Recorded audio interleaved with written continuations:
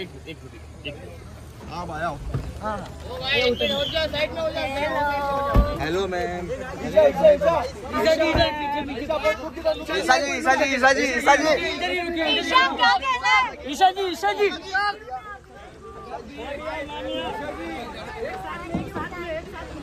जाओ जाओ जाओ अंदर जाओ। क्या साथ में साथ में बंद करो बंद करो गेट बंद करो। आराम से थोड़ा आराम से। समझा ना